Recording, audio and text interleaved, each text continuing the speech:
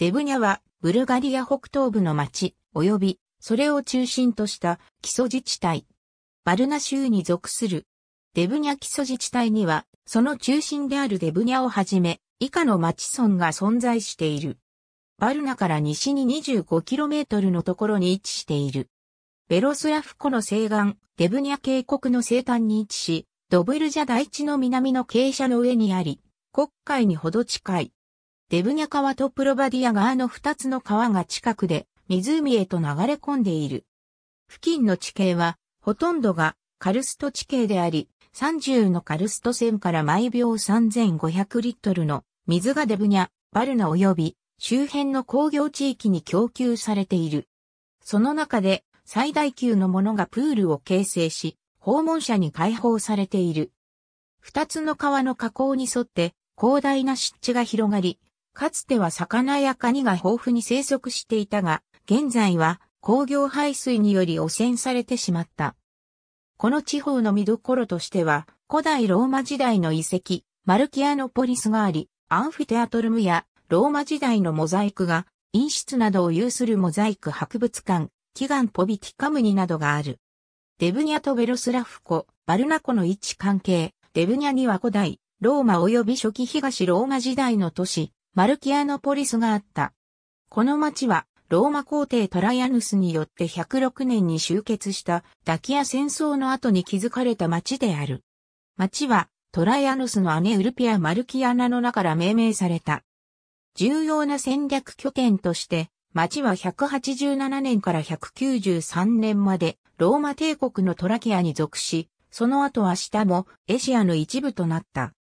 マルキアノポリスのセベルス朝時代の栄華は248年から249年にかけてのゴート族の侵入と、その後の蛮族の北からの侵入によって終わりを迎えた。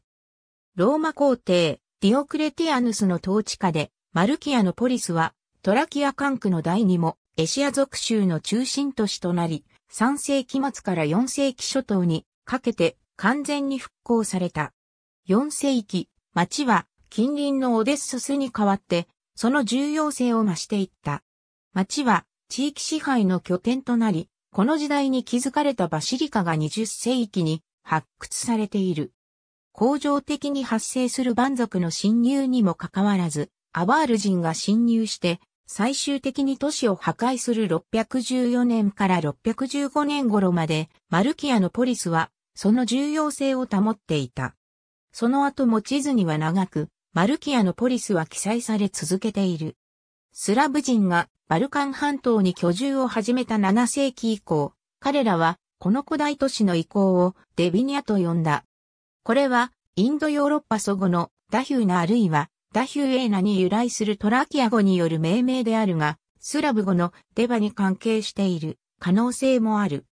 中世の間、小さなブルガール人の要塞がこの場所に置かれており、おそらくオムルタグ島地下の9世紀に建造され、10世紀から11世紀にかけて北へ拡張されたものと考えられる。9世紀の広大なブルガール人の共同墓地が発掘されている。ブルガリア皇帝、イバイロと、その定位を争ったライバルのイヴァン・アセン参戦によって、送られた東ローマ軍との間で、1279年7月17日に、デブニャの戦いが行われた。オスマン帝国のバルカン半島への侵入後、要塞は破壊され放棄され、集落は西へ移動した。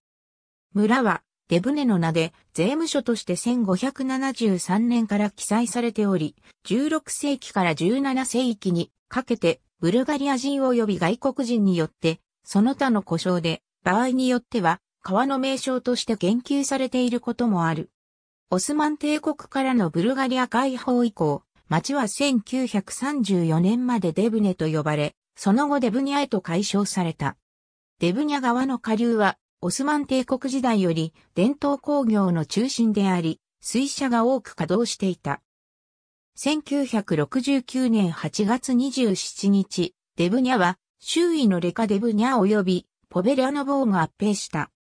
デブニャはバルナデブニャ工業団地の一部であり、多くの重要な重工業の工場がデブニャ及びその周辺に集まり、ブルガリアの国家規模で重要な科学工業拠点を形成している。その中には次のようなものがある。デブニャは、また重要な交通拠点でもあり、西バルナ港及び2つの鉄道駅を有している。デブニャ工業地帯は容量にして、ブルガリアの輸出総量の14%を占めている。民営化されたソルベイソジ AD 社は金額にしてブルガリアで1989年の自由化以降2番目に巨大な民営関係であった。2009年7月30日閲覧。ありがとうございます。